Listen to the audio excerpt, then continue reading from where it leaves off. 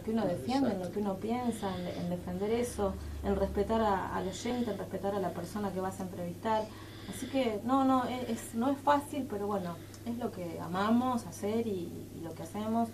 Mauro, eso se lo forma Mauro. Bueno, hoy lo tenemos atrás. Eh, pobre los, el, operador siempre atrás. Mauro es, es, es, el alma de esto también, ¿eh? porque nosotros sin él, nada. Eh, él, está acá, nos banca Mauro y todos los operadores y todo, cada cual en, en su lugar. Y bueno, Carlitos es un santo que es el que está hace 20 años aquí y sigue bancando a todas las mujeres. Todas las mujeres. a ver, ¿cómo aguantar? A ver, me voy a poner en ese rol de mujer. Bendito tú seas. ¿Cómo es aguantar 20 años a las mujeres? Mírame. Te veo bien. Mirá.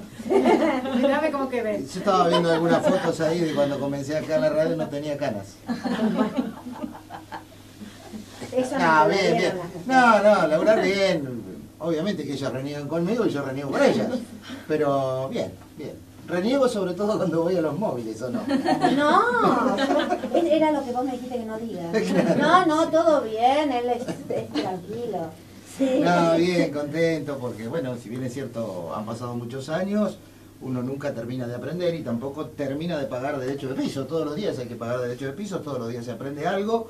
Por suerte todos los días hay gente que se renueva y bueno, y eso hace de que uno vaya adquiriendo un poco más de experiencia ¿no? en esto. Y me voy de Patricia, ¿eh? Oh. Patricia, quien también los comienzos, ¿no, Patricia? Sí, sí, hace 20 años este, que arrancábamos y le dábamos un giro al, tema de la comunicación al santo, este, que fue, bueno, ha sido importante porque sigue estando.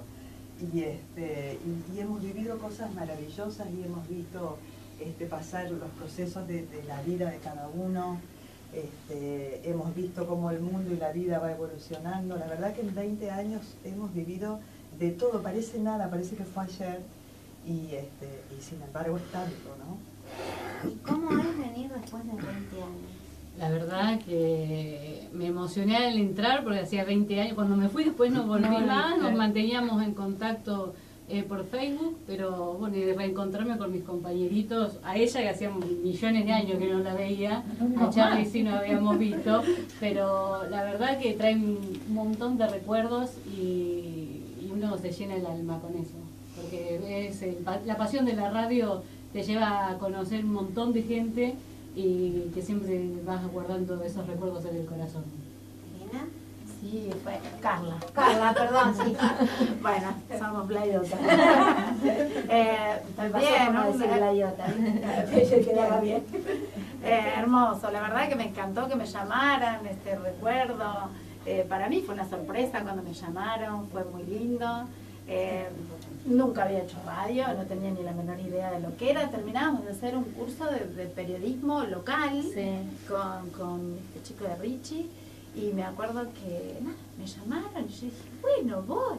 Tosía, no paraba de toser de los nervios que tenía. Pero bueno, eh, ¿se acuerdan, no? Vos me zafabas, yo tosía, tosía, salía afuera y ella... Y, y llena mucho el, el, hacer la producción también, el generar la noticia, en buscarla, en dónde, dónde está lo que la gente quiere quiere escuchar, enterarse, está muy bueno. La hacedora de día a día actual, Tati y Carlitos.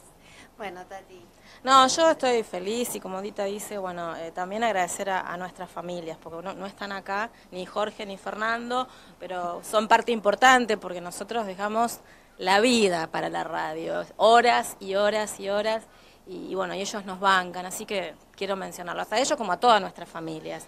Y decir también que la llegada de los nietos nos ha complicado un poco la, la realidad, eh, porque bueno, porque te demanda tiempo y porque uno los quiere disfrutar, pero así todo hacemos malabares para poder seguir trabajando, para poder seguir estando y disfrutando de ellos. La verdad somos, yo agradecida a la vida por, por este trabajo, por la posibilidad de conocer gente, de, relacionarme. Y ayer también cuando, nos quejamos decimos, bueno, pero estamos haciendo lo que nos gusta, lo hacemos con ganas.